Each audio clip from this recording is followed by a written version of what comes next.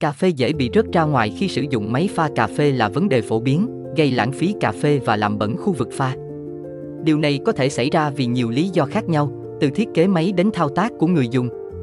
Nhận biết các nguyên nhân và tìm giải pháp khắc phục sẽ giúp quá trình pha cà phê trở nên dễ dàng và gọn gàng hơn. Sau đây là các nguyên nhân khiến cà phê rớt ra ngoài. Thứ nhất, hộc chứa cà phê không vừa, hộc chứa hoặc cốc đặt dưới vòi pha không đúng kích thước, khiến cà phê chảy ra ngoài khi máy hoạt động. Thứ hai, bột cà phê quá đầy, việc sử dụng quá nhiều bột cà phê trong bộ lọc có thể gây tràn và làm cà phê rơi vãi. Thứ ba, vòi pha không ổn định, nếu vòi pha bị lệch hoặc không cố định đúng vị trí, cà phê sẽ không chảy vào cốc mà rơi ra ngoài. Thứ tư, áp suất không đều, máy pha cà phê không điều chỉnh được áp suất phù hợp có thể làm dòng chảy bị gián đoạn, dẫn đến cà phê bắn tung tóe. Giải pháp để giữ cà phê không rơi ra ngoài, thứ nhất, sử dụng cốc phù hợp, đảm bảo cốc hoặc hộc chứa đặt dưới vòi.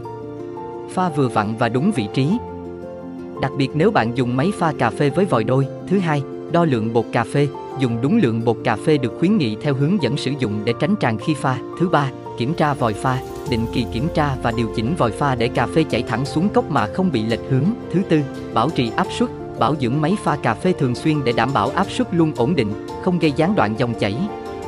Lyon Coffee cung cấp các dòng máy pha cà phê với thiết kế tối ưu và vòi pha ổn định, giúp bạn có được tách cà phê ngon mà không phải lo lắng về tình trạng rơi vãi.